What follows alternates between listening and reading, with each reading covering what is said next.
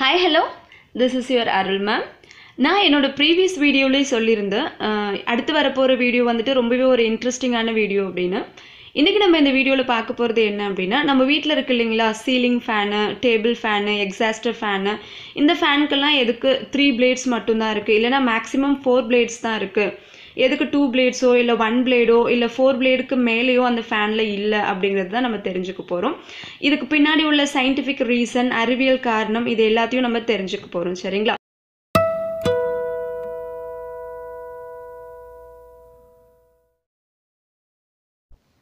ஃபேனில் நிறைய டிசைன் நிறைய மாடல்ஸில் இருக்குது single blade fan double blade fan triple blade fan அதுக்கப்புறமா four five eight ten twelve அது மாதிரி நிறைய பிளேட்ஸ் கொண்ட ஃபேன்ஸும் இருக்குது சீலிங்கில் கரப்பாம்பூச்சி மேயிற மாதிரி இருக்கு இல்லைங்களா? இதுவும் ஃபேன் தான். இங்கே பாருங்கள் மிக்சியில் உள்ள பிளேடு மாதிரியே இருக்குது பாருங்கள் இதுவும் ஃபேன் தான்.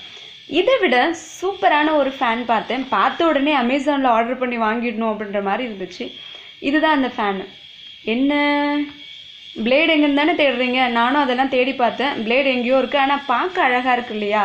வித்தியாசமாக இருக்கும் இல்லையா? அதுக்காக தான் இது மாதிரி நிறைய டிசைன்ஸில் நிறைய வெரைட்டியில் ஃபேன்ஸ் இருக்குது ஆனால் இந்த எல்லா ஃபேனையும் விட்டுட்டு நம்ம ஏன் த்ரீ பிளேட் ஃபேன்ஸ் மட்டும் யூஸ் பண்ணுறோம் தெரியுங்களா?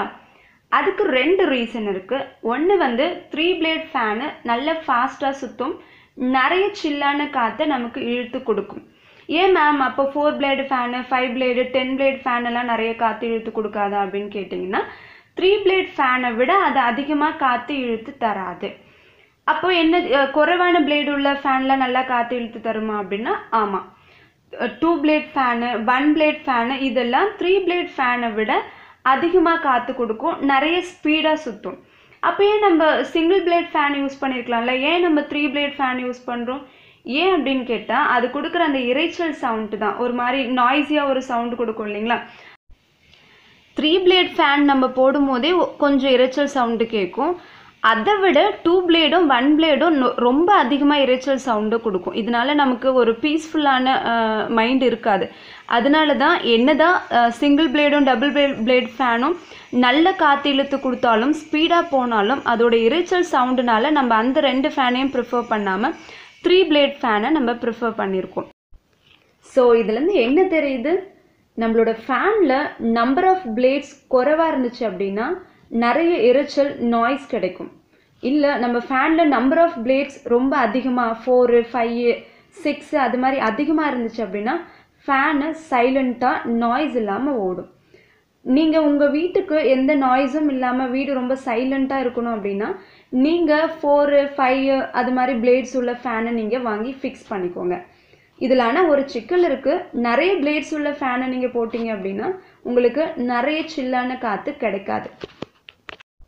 ஏன் அப்படின்னா நம்பர் ஆஃப் பிளேட்ஸ் ஃபேனில் அதிகமாக இருந்துச்சு அப்படின்னா அந்த ஃபேனால் ஃபாஸ்ட்டாக சுற்ற முடியாது. ஃபாஸ்ட்டாக சுற்ற முடியலன்னா நிறைய காற்று அதால் இழுத்து நமக்கு கொடுக்க முடியாது. இதனால தான் குறைவான பிளேட்ஸ் உள்ள ஃபேனு ஃபாஸ்ட்டாக சுற்றுது நிறைய காற்று கிடைக்குது.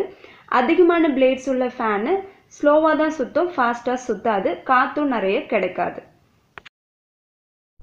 நிறைய கோல்டான கண்ட்ரீஸில் இது மாதிரி நிறைய பிளேடு உள்ள ஃபேன்ஸு தான் யூஸ் பண்ணுவாங்க. Five blade fan four blade fan அது மாதிரி ஃபேன்ஸு தான் யூஸ் பண்ணுவாங்க.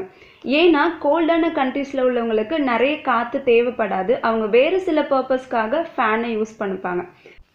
ஆனால் நம்ம இந்தியா போன்ற நாட்டில் டெம்பரேச்சர் எப்போவுமே அதிகமாக தான் இருக்கும். ஸோ நமக்கு த்ரீ பிளேட் ஃபேன் தான் கம்ஃபர்டபுளாக இருக்கும். நிறைய காற்றும் வரும். அது மாதிரி நாய்ஸும் கூட கொஞ்சம் கண்ட்ரோலில் இருக்கும். அதுக்காக தான் நம்ம த்ரீ பிளேட் ஃபேன்ஸை மோஸ்ட்லி யூஸ் பண்ணுவோம். ஃபேனை டிசைன் பண்ணும்போது எப்பவுமே ஏரோடைனமிக் ஷேப்பில் தான் டிசைன் பண்ணுவாங்க. ஏரோடைனமிக்ஸ் ஷேப் அப்படிங்கிறது ஏர் ரெசிஸ்டன்ஸ் ரொம்ப குறைவாக உள்ளது உள்ள ஒரு ஷேப்பை தான் ஏரோடைனமிக் ஷேப் அப்படின்னு சொல்லுவோம். இன்னும் கூட சொல்ல போகணும்னா இந்த ஸ்ட்ரீம் லைன் பாடி ஷேப் அப்படிலாம் கேள்விப்பட்டிருப்பீங்க இல்லையா? அது மாதிரி ஸ்ட்ரீம் லைன் பாடி ஷேப்புக்கெல்லாம் டிராகிங் கோஎஃபிஷியன்ட் ரொம்ப குறைவாக இருக்கும்.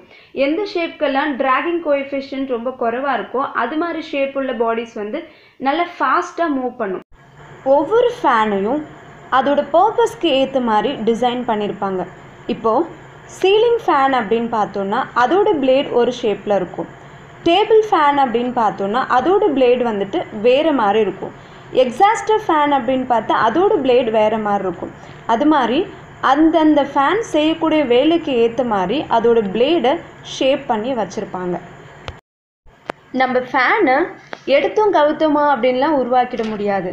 ஃபேனை உருவாக்கிட்டு அதில் பிளேடை ஃபிக்ஸ் பண்ணுறதுக்கு அதுக்குன்னு ஒரு ஆங்கிள் இருக்குது அந்த ஆங்கிளை ஃபாலோ பண்ணி தான் அந்த பிளேடை ஃபிக்ஸ் பண்ணணும்.